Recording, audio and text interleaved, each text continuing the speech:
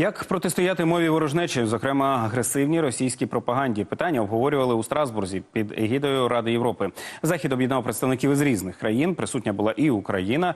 І більше про обмін досвідом спитаємо у Ольги Герасим'юк, голови Національної ради України з питань телебачення і радіомовлення. Пані Ольго, добрий вам вечір.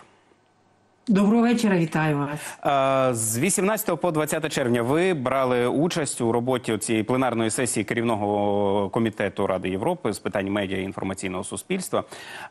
І от в своєму виступі в перший день ви зокрема говорили про протидію в Європі російській пропаганді, дезінформації щодо війни в Україні. А які тут можуть бути практичні рішення для такої протидії? Для цього е, комітет збирається, щоб виробляти такі е, спільні рішення, і там присутні, як правило, експертне середовище з країн е, усіх країн Ради Європи. І тому це дуже важливо цю тему весь час піднімати, тому що. Знаєте, час іде, ми боремося, всі потроху звикають, що Україна бореться, і потроху перемикаються на свої проблеми. А цей рік як відомо, рік най, найбільший рік виборів. Тобто, кожна дуже багато країн е, чекають вибори в своїх е, суспільствах, переживають про свої проблеми. Тому постійно потрібно нагадувати, що всі ці проблеми переважно із виборами в кожній із, із цих країн пов'язані з російською дезінформацією як такою, тому що вона, вона ніколи не зникає, вона проникає у всі суспільства. Саме тому я е, виступаючи. Е, в двох е, важливих таких питаннях, які розглядали, про це наголошувала. Одним із найважливіших питань слухали якраз оцю п'ятирічну кампанію, яка яку Рада Європи е, започаткувала. Це кампанія по забезпеченню безпеки журналістської роботи, журналістської професії. До речі, всі країни по різному до цього ставляться. Звучали під час дискусій такі навіть трохи, е, я б сказала, дивні. Меседжі про те, що мовляв, а навіщо журналістів захищати? Невже вони в першу чергу потребують е, захисту найвразливіша верства? І тут е, треба було говорити про те, що це не просто велика помилка, це якраз іще може бути один із наративів російської дезінформації, тому що коли послабити е, журналістів, коли е, закрити рот е, правді, коли припинити доступ доступ людей до інформації, е, це означає відкрити ворота ворогові. І ось чому в цій кампанії Україна веде е, сьогодні е, перед. Про це говорили колеги на засіданні, тому що ми якраз представили своє бачення. Я говорила про те, що у нашій боротьбі, ось тільки за останні роки, фіксується, що росіяни здійснили близько 600 злочинів проти медіа. Вбито е, понад 80 журналістів, і це дуже неточна цифра.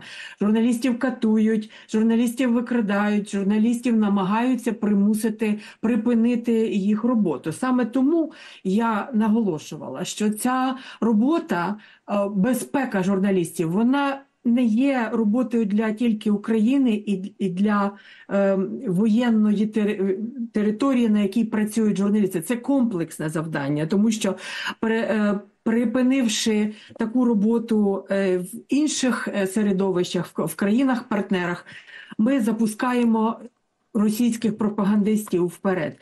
Наші партнери, які розуміють це, говорили е, якраз тим країнам, які сумніваються у важливості цієї роботи, про те, що погляньте на Україну. Вона під час шаленої. Війни під час шаленого опору, під час шаленого захисту нас із вами показує приклад, як треба це робити. До речі, майже е, єдина наша країна запровадила і створила у себе ось такий.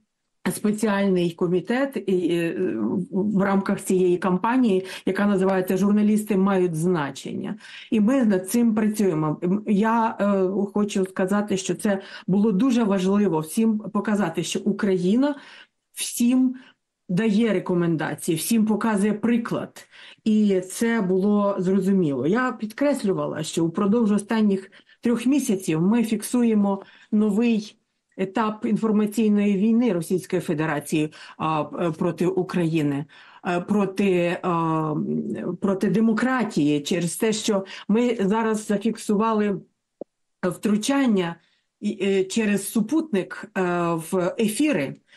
Це знову ж таки частина тої війни, яку веде Росія, позбавлення людей доступу до інформації для того, щоб їх е, застати зненацька, щоб тероризувати, посіяти розбрат, розбити наше суспільство. Я е, звернулася, е, наші ми разом Національна Рада звернулися до наших колег із Франції, тому що таке втручання ведеться через супутник, який є в юрисдикції Франції. І отакі зустрічі на комітеті та і поза ним важливі для того, щоб цю тему е, не залишити просто так, адже це була е, брутальне порушення усіх існуючих взагалі у демократичному світі норм, які ухвалені між е, країнами, що, що регулюють частоти, е, які е, збираються на такі спеціальні е, е, зустрічі, де розглядаються ці, ці правила. І наші колеги з Аркому, Арком це Національна рада Франції, так би мовити, так, е, з телебачення радіомовлення. Вони якраз мені там е, повідомили, що е, з великою увагою поставилися до цього нашого листа. Вони звернулися у себе до е, їх е, французької агенції, яка керує частотами. Та агенція спробувала прокомунікувати з російськими. е, Як би сказати, партнерами не скажеш, але з тою російською стороною, і повідомила нам, що російська сторона взагалі е, нічого не хоче у відповідь е, змінювати. Відповідно, французи написали: ось буквально я зараз е, читаю цього листа, що е, ми е, дуже.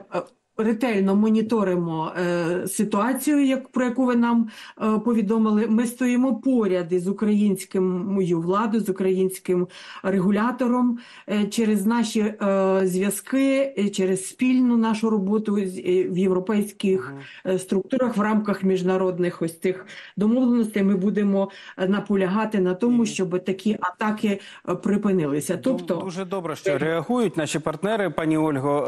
Е, Будемо сподіватися, що надалі е, реакція буде ще більшою. Я, я вам дуже дякую. У нас просто на жаль завершився ефірний час. Я сподіваюся, ми ще Так, поговоримо розумію. пізніше е, на цю тему. Е, Я нагадаю, це була Ольга Герасим'юк, голова Національної ради України з питань телебачення і радіомовлення.